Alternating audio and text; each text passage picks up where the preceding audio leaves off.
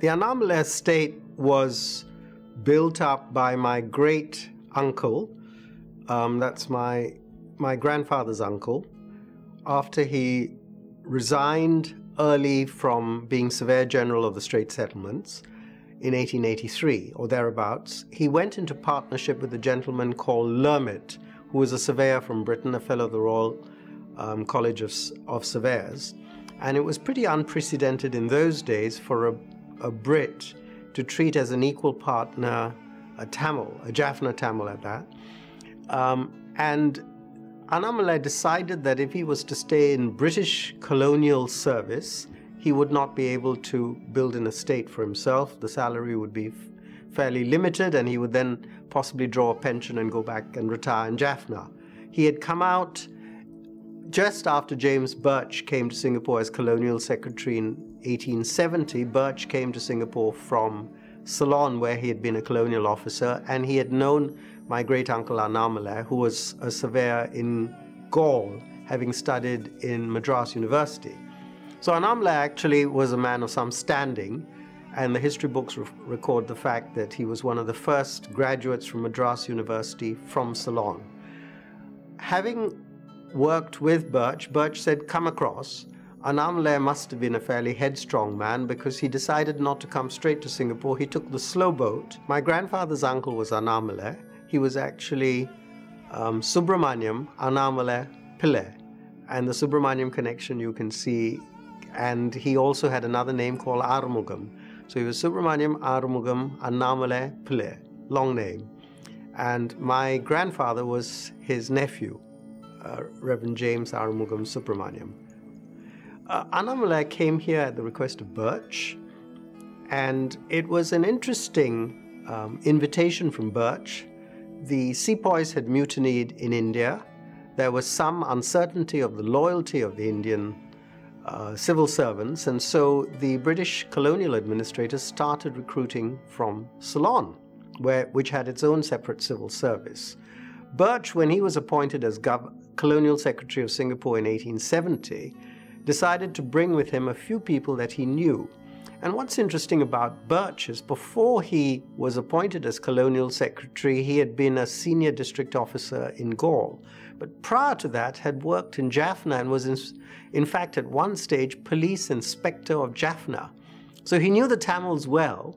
and Annamalai was one of the first Tamil graduates in surveying. Surveying was very important in those days. You had to open up the jungle. You had immense power. You were an arbiter of disputes between families, between state and citizen. And Annamalai was highly respected. So Birch asks Annamalai to join him in 1870. Annamalai says not yet, takes the slow boat down, goes to Penang first, builds up a lucrative, uh, bill, bill, establishes himself as a government surveyor there and starts a family with a mistress. He then comes down to Malacca. You can, you can see the boat route that he took and does exactly the same working as a government surveyor. In his obituary, when he died in the 1920s, it says that he did extremely good work in Malacca and Penang, had another family in Malacca, and then comes to Singapore.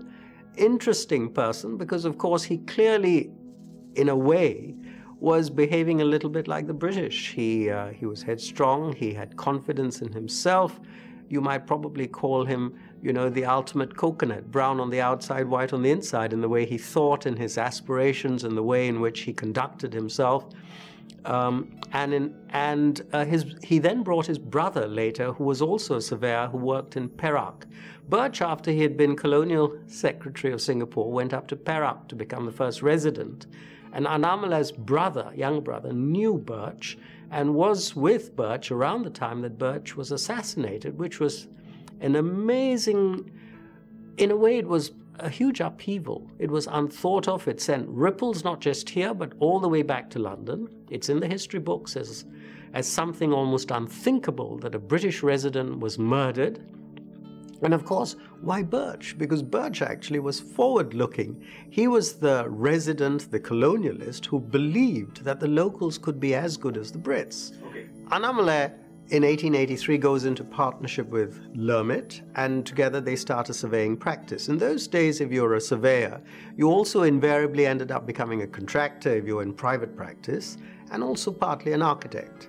You start designing buildings, you have a sense, you work with the engineers, and you, and as a contractor, also contractors had a good sense of how you built and how you did massive structures. Annamalai had already, as Surveyor General, recognized the value of land in this country.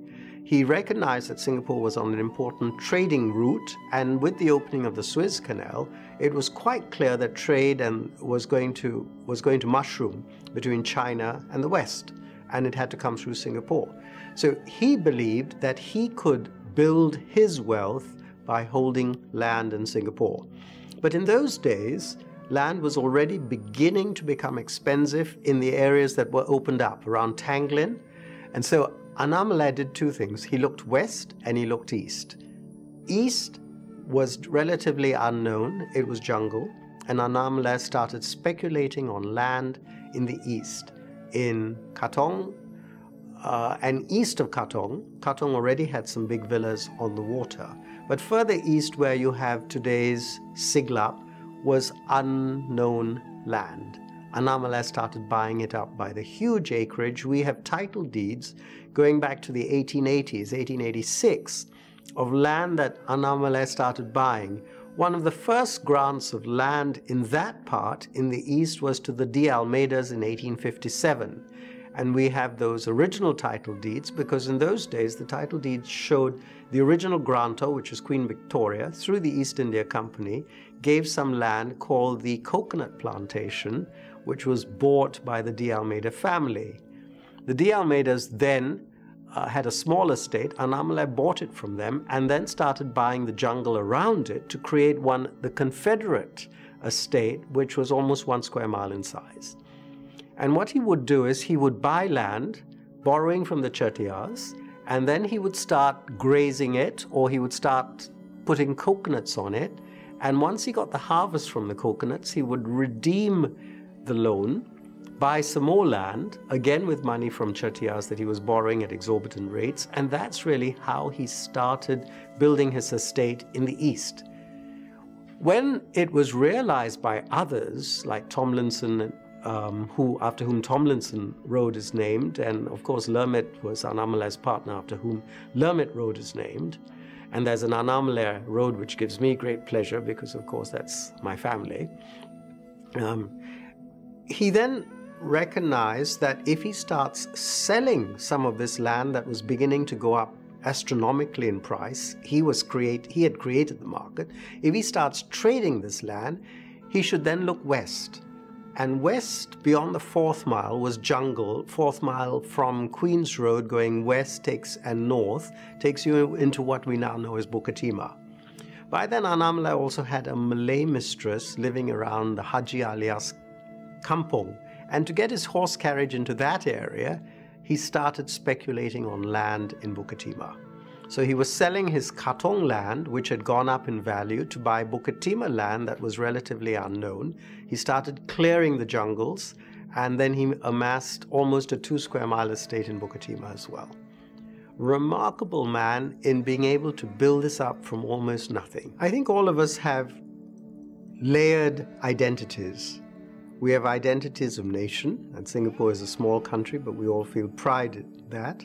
But the richness that we feel comes not just from being Singaporean, but also our ethnic background. And for me, the fact that I'm Tamil is something that fills me with great pride. It gives me cultural ballast. It also gives me a sense of where I came from. The fact that uh, we articulate and speak English and speak it in the way the British do in no way diminishes the fact that we're Tamil. In fact, I think it enhances our sense of connect with Tamil because it's when we realize that we are beginning to think in English and process our ideas in English that we then realize that we may have actually become so westernized in our thought process that we've lost the sense of what it means to truly be Tamil. Because to be truly Tamil, it's not just the skin color, it's not just having a Tamil name, which I do, and giving that to my two sons. Uh, it's not just requiring my English wife to wear a sari for family events, because that's part of our culture. Um, it's deeper, it's, it's wider. It's being able to, to think in Tamil, to be able to dream in Tamil. And in a way, I think because I don't have that language fluency in Tamil, which my parents wanted me to have, my parents were fluent in Tamil. Both my parents uh, could speak very well in Tamil. My father could deliver speeches in Tamil. He could he could he could speak at church in Tamil. My mother could conduct dialogue in Tamil. My grandparents, of course, were utterly fluent in it. And so, if I think back, and we are fortunate to know our family tree going back 800 years, and I look at that family tree, I see these Tamil names, and I realize that I'm the first generation in 800 years who's not fluent in Tamil. What do I think about it? In a way, I feel somewhat ashamed that I don't have that language fluency. The opportunities were afforded me by my parents, but I didn't seize them in the way I wanted, I should have. And I want to try and plug that gap now. And one of my great desires when I get to the stage of, of having more time is to have a Tamil Vatya and to reacquaint myself with the language I can read it, I can understand it when it's spoken by others, but I can't speak it in a way I would like to. So mine would be what you'd call Kupatoti Tamil. And it's rather sad, but I must do something about it. And I'm going to.